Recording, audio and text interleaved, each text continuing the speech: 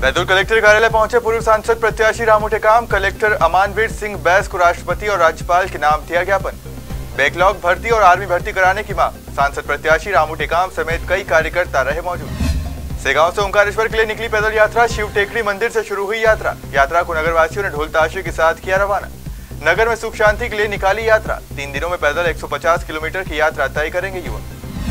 उज्जैन ज़िले की तराना में एलएनटी कंपनी ने किया वृक्षारोपण। कंपनी के कार्यकर्ताओं सहित नभा कर्मचारियों ने लगाए एक हज़ार पौधे। दुबली वाटर प्लांट पर वृक्षारोपण कर की संरक्षण की अपील।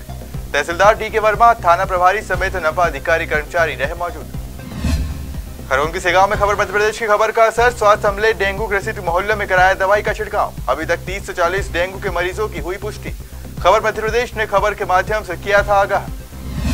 इंदौर में विद्युत सुधार विधेयक 2021 को लेकर प्रदर्शन। पाँच सूत्रीय मांगों को लेकर शनिवार को अधिकारी कर्मचारी करेंगे बहिष्कार। मांगे पूरी नहीं होने पर 13 अगस्त से शुरू करेंगे अनिश्चितकालीन हड़ताल।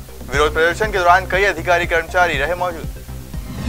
सागर ज़िले के मालथौन, समसपुर गाँव में लगी आग, चक्की में शॉर्ट सर्किट से लगी भीषण आग। मौके पर पहुँची दमकल की गाड़ी। कड़ी मशक्कत के बाद आग पर किया काबू। कुरवाई में लगातार हो रही बारिश से जनजीवन अस्त व्यस्त। कल रात हुई अचानक तेज बारिश से लगभग दो दर्जन गाँव में बाढ़ जैसे हालात। जुनैया खेड़ी एवं मदऊ खेड़ी में बाढ़ में फंसे लोग बचाव दल के साथ तहसीलदार ने किया रेस्क्यू। रेस्क्यू कर निचली बस्तियों को खाली कराकर ऊँचे स्थान पर भेजा। झाबुआ के बेटलावत विधानसभा में भाजपा को लगा झटका। भाजपा के 50 कार्यकर्ताओं ने थामा कांग्रेस का हाथ। विधायक की मौजूदगी में भाजपा छोड़कर ली कांग्रेस की सदस्यता।